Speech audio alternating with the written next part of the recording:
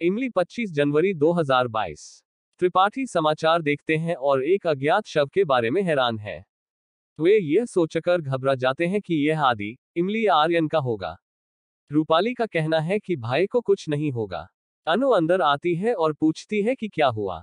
हरीश ने उसे बचाव दल को बम विस्फोट क्षेत्र में एक शव मिलने की सूचना दी। अनु चौंककर खड़ी हो जाती है। नर्मदा आर्यन के लिए चिंतित हो जाती है।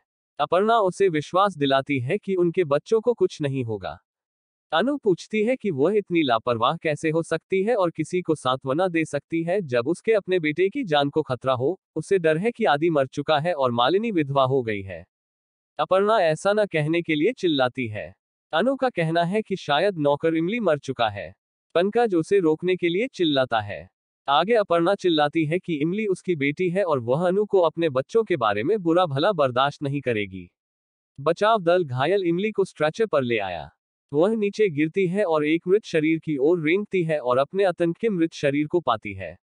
इंस्पेक्टर चर्चा करता है कि चार लोग विस्फोट क्षेत्र में थे, लेकिन केवल तीन पाए जाते हैं और एक के टुकड़े टुकड़े हो गए होंगे। यह सुनकर इमली गिर जाती है। इमली के लिए चिंतित सुनकर मीठी अस्पताल पहुँचती है और अस्पताल के बिस्तर पर उसे ज़िंदा देखकर आराम करती है। वह इमली को हिलाती है और अपनी आँखें खोलने के लिए विनती करती है। नज उसे मरीज़ को आराम करने के लिए कहती है। इमली मीठी का हाथ पकड़ती है, आँखें खोलती है और आदित्य के बारे में पूछती है।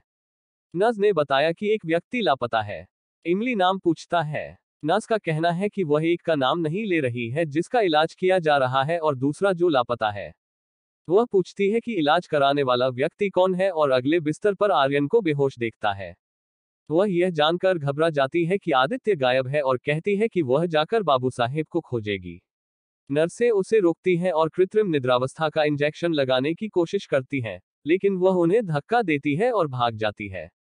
त्रिपाठी आगे खबर देखते हैं कि चांदाल आतंकवादी आतंक था जो अब मर चुका है। इमली और आर्यन घायल हैं और अस्पताल में इलाज करवा रहे हैं। आदित्य गायब है और उसकी भविष्यवाणी की गई है, मर जाना। यह सुनकर वे सब टूट जाते हैं।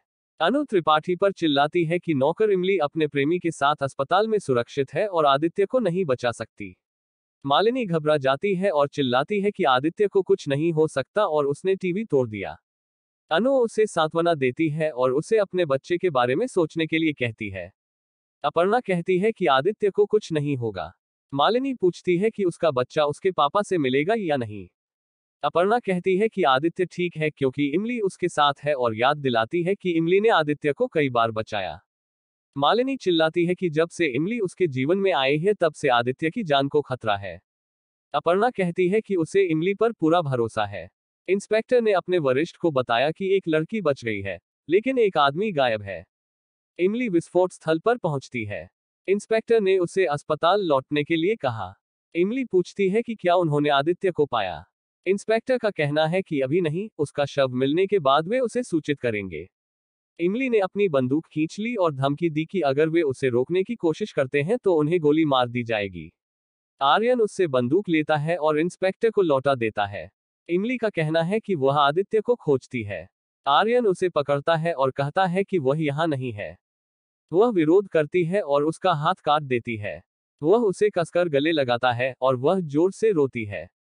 मीठी वहाँ पहुँचती है। इमली उसे सभी को सूचित करने के लिए कहती है कि केवल वही आदित्य को हर बार वापस लाती है। आदित्य उसे अनुमति देता है। इमली 25 जनवरी